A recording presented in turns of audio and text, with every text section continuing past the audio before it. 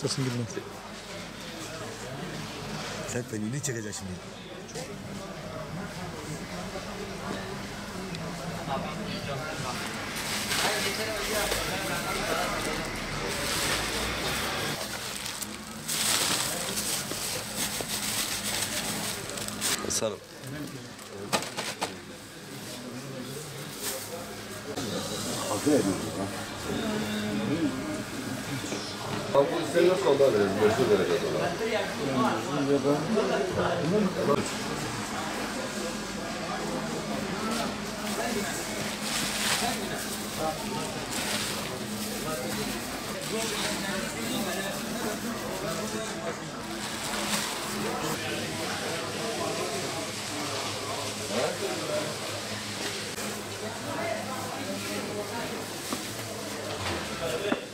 Bir Medine forması 10 TL.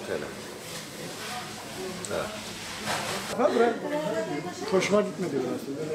Ee, Ramazan aylarında e, insanların tükettiği tabi iftarını açmak için hurmadır. E, tabi bu sene malum e, ithal olduğu için e, fiyatlarımız fiyatlar yüksektir. E, tabi insan hurma alırken düşünerek alıyor artık.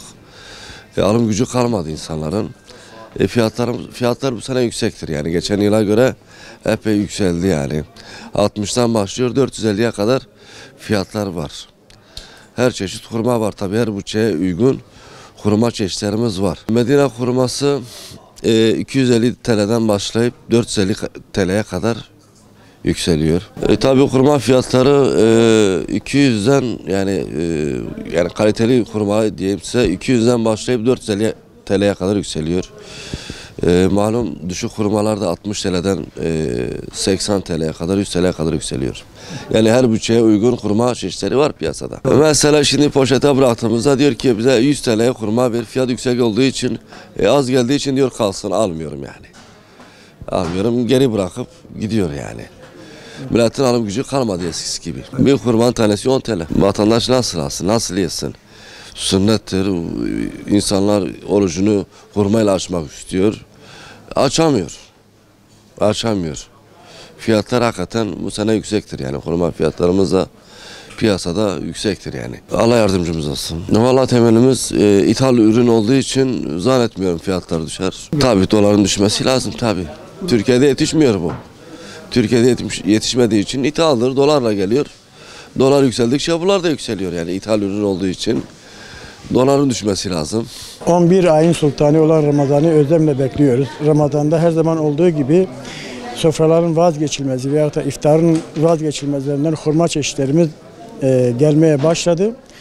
E, hurma, evet hurmalarımızı te- tezgahlarda sermeye başladı. Fakat hani geçen seneye nazaran şimdiki e, hurma fiyatlarını kıyas ettiğimiz zaman neredeyse yüzde yüzlere varan bir e, fiyat çe- çeşitliliği bulunmakta.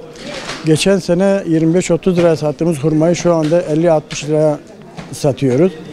100, 150 lira civarı sattığımız hurmalar da 250-300 kimileri 400'e kadar da çeşitli olarak yani değişebilmektedir. Şimdi vatandaş da her zaman olduğu gibi hurmaya rağbet gösteriyor fakat alan da var, alamayan da var. Herkes bütçesini hesaba katarak e, hurma çeşitlerini almaya gayret ediyor.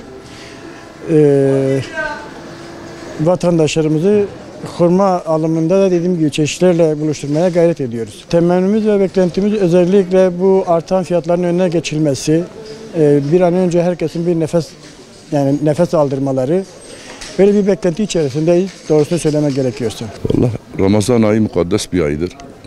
Bizim bu Batman toplumu da biliyorsun biraz dinle bağlı bir toplumdur.